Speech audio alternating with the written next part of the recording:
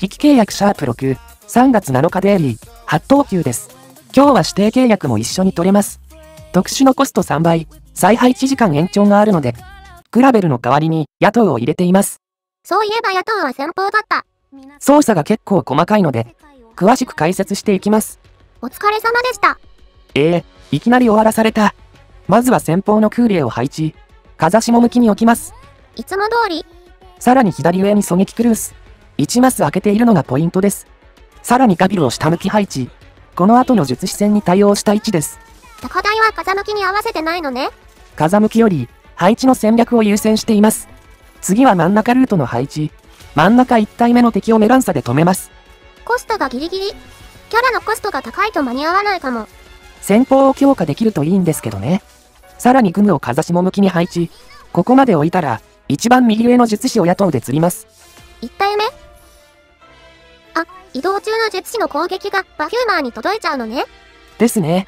戦闘中で回復がずれると、パフューマーが倒されることがあるので注意です。術師が近づいてきたら、メランサのスキルを使います。突撃兵が来る直前、クーリエのスキルが発動したら、クオーラに交代します。クオーラなら、突撃兵にギリギリ耐えれます。ギリギリなんだ。はい。どのくらいギリギリかというと、このくらいです。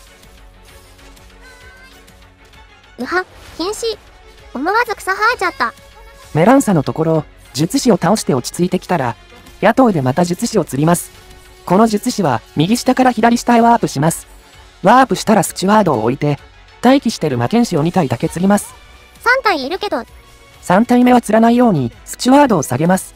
そして左下、術師が来たらマトイマルのスキル。剣士が来たら、メランサのスキルを使います。マトイマルはガヴィルで回復するようになってるのね。先を読んだ完璧な配置。自画自賛。何回も繰り返しやってるだけなのにね。右上に術師が追加で出るので、すぐにヤトウで1体釣って、パフューマーのスキルを使います。ちなみにスキル1です。突撃兵が2体来てる。これは耐えれないので、両方とも1回ずつ止めます。粉砕、玉砕、止めたらクオーラのスキル、ブロック数を増やす目的もあるので、スキルが早すぎないように注意です。帰ってきたスチュワードを配置。敵に抜けられやすいので、アタッカーを増やします。次、右上の術師をまた釣りますが、タイミングが悪いと、パフューマーが倒されたり、まとい丸が別の敵をブロック中に術師が通り抜けていったりします。むむむ。真ん中の挑発鎧が一番上に行った頃が目印です。いろいろとタイミングが細かくて大変。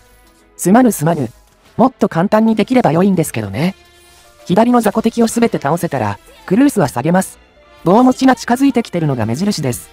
そして、この2体が通り抜けたらスポットを配置。術師に攻撃食らっちゃうよ。しかし、スキルを貯めるために早く置きます。術師を倒したら、まとい丸を撤退。挑発鎧が来たら、スポットのスキル。真ん中に剣士が来たら、メランサのスキル。ボンクラが来たら、クオーラのスキルを使います。スポットは重装なのに結構ダメージ食らってるね。防御ダウンが効いてますね。ボンクラを倒せそうになったら、最後の術師を釣ります。まとい丸は下げちゃったので、代わりにムースを同じ場所に配置。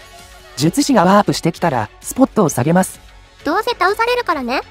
挑発鎧は、そのままスチュワードで倒します。棒持ちが右に戻ってる。タイムリミットが近い。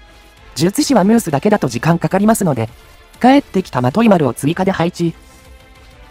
あれ？そこは医療が届いてないんだ？はい。ですが回復が分散しないので、ムースが倒される心配は減ります。ふむふむ。術師倒せた。ついに棒持ちが旗を出した。術師は倒せていますので、挑発鎧も今倒せた。あとは棒持ちたちを倒すだけです。こりゃ細かくて大変だ。ナイスクリア。ご視聴ありがとうございました。